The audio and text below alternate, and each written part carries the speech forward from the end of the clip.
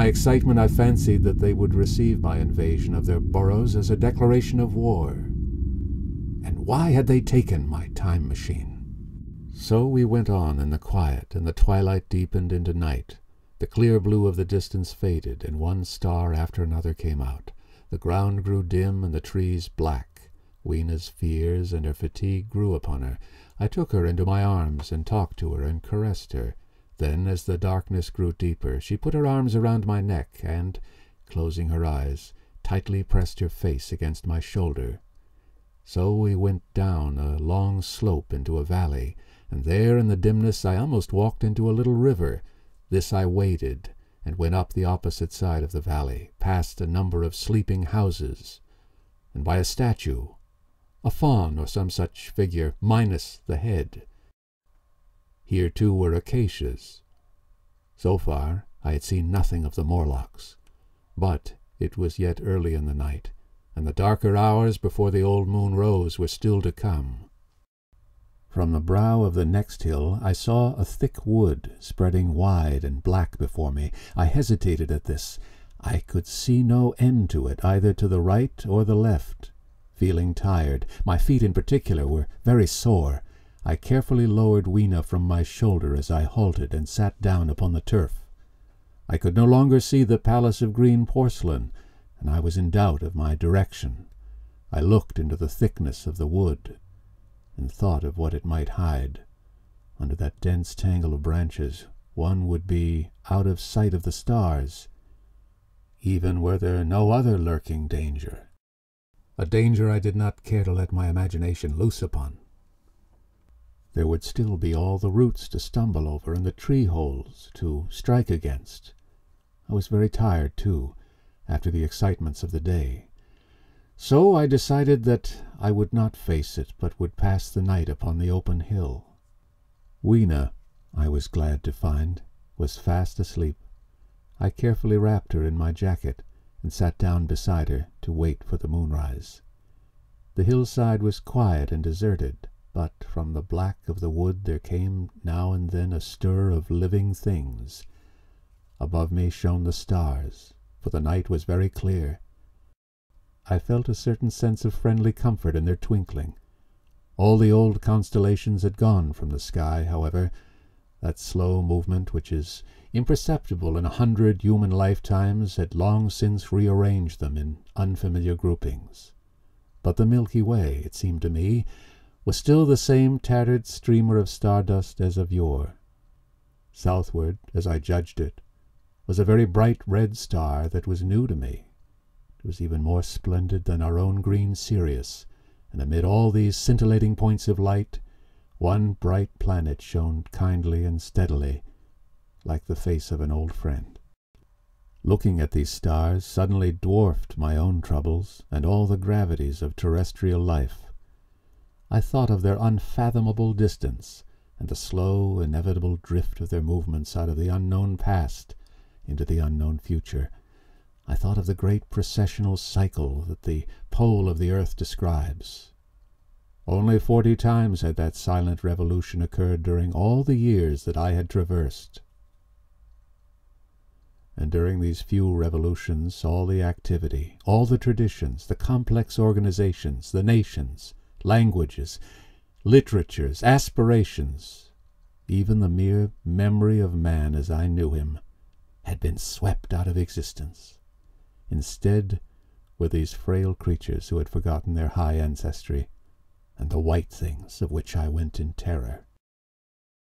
Then I thought of the great fear that was between the two species, and for the first time, with a sudden shiver, came the clear knowledge of what the meat I had seen might be. Yet it was too horrible. I looked at little Weena sleeping beside me, her face white and starlike under the stars, and forthwith dismissed the thought.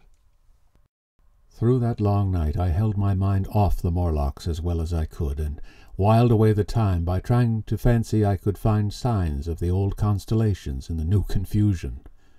The sky kept very clear, except for a hazy cloud or so. No doubt I dozed at times. Then, as my vigil wore on, came a faintness in the eastern sky, like the reflection of some colourless fire, and the old moon rose thin and peaked and white, and close behind and overtaking it and overflowing it, the dawn came, pale at first, then growing pink and warm. No Morlocks had approached us. Indeed, I had seen none upon the hill that night, and in the confidence of renewed day it almost seemed to me that my fear had been unreasonable. I stood up and found my foot with the loose heel swollen at the ankle and painful under the heel, so I sat down again, took off my shoes, and flung them away. I awakened Weena, and we went down into the wood, now green and pleasant instead of black and forbidding. We found some fruit wherewith to break our fast. We soon met others of the dainty ones, laughing and dancing in the sunlight as though there was no such thing in nature as the night. And then I thought once more of the meat that I had seen. I felt assured now of what it was, and from the bottom of my heart I pitied this last feeble rill from the great flood of humanity. Clearly at some time in the long ago of human decay, the Morlocks' food had run short, Possibly they had lived on rats and such like vermin. Even now man is far less discriminating and exclusive in his food than he was, far less than any monkey. His prejudice against human flesh is no deep-seated instinct. And so these inhuman sons of men... I tried to look at the thing in a scientific spirit. After all, they were less human and more remote than our cannibal ancestors of three or four thousand years ago, and the intelligence that would have made this state of things a torment had gone. Why should I trouble myself? These Eloi were mere fatted cattle, which the ant-like Morlocks preserved and preyed upon, probably saw to the breeding of. There was little Weena dancing at my side. Then I tried to preserve myself from the horror that was coming upon me by regarding it as a rigorous punishment of human selfishness, Man had been content to live in ease and delight upon the labors of his fellow man, had taken necessity as his watchword and excuse, and in the fullness of time necessity had come home to him. I even tried a Carlyle-like scorn of this wretched aristocracy in decay. But this attitude of mind was impossible. However great their intellectual degradation, the Eloi had kept too much of the human form not to claim my sympathy and to make me perforce a sharer in their degradation and their fear.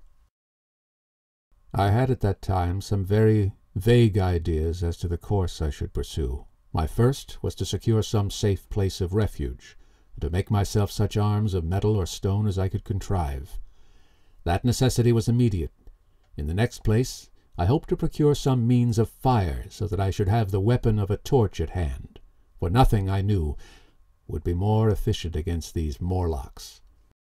Then I wanted to arrange some contrivance to break open the doors of bronze under the White Sphinx. I had in mind a battering ram.